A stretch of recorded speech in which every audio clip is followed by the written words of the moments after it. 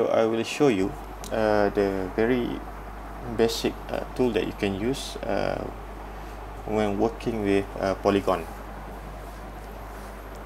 Okay, uh, I start with creating a simple mesh. Okay. Okay, then I'm gonna scale it to an appropriate size.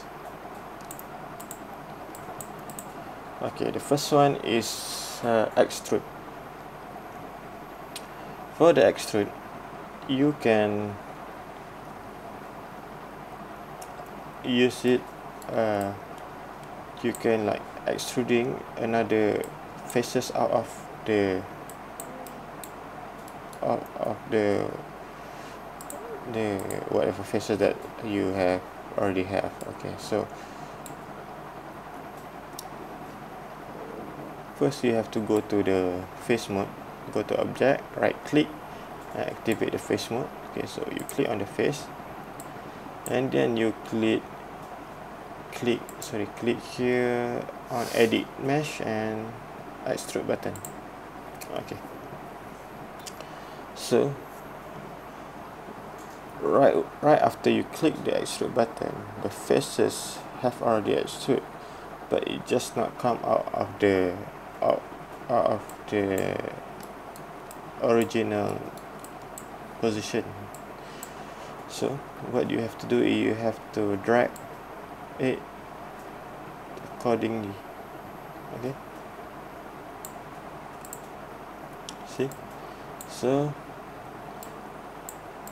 this is extrude you can either drag it or you want to scale it. Or maybe you want to rotate it. Yes you may do so. Okay. Okay. You also can extrude it inward. So you just go at the mesh extrude again. Okay. Maybe you want to extrude it. And then scale it a bit. See you can extrude again without having to click on the menu here by hitting uh, G on your keyboard. G used to activate whatever tools that you just your your last use tool okay? Let's say if you the last use tool is extrude when you hit G let's say I hit G now it will extrude again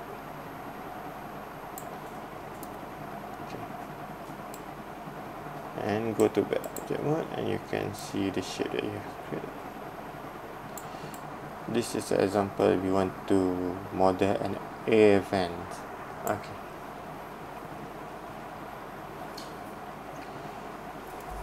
The next tool is will be uh, insert edge loop tool. Insert edge loop tool is for you to create a ring add another ring to your uh, mesh. But okay. So let's say I want to adjust the shape here. I just I will just use to go here. Edit mesh sorry I think mesh.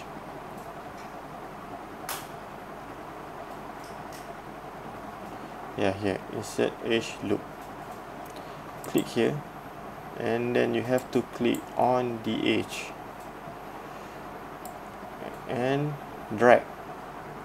Click hold and drag to whatever position that you feel uh, that you want. And then release the mouse button. Okay.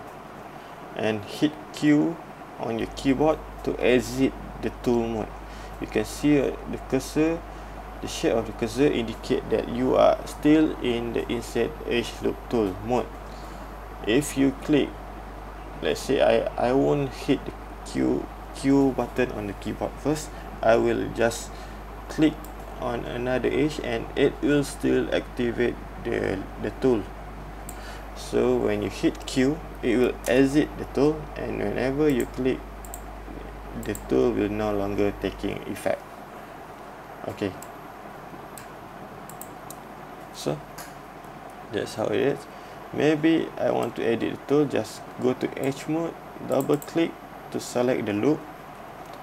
And I can maybe scale it.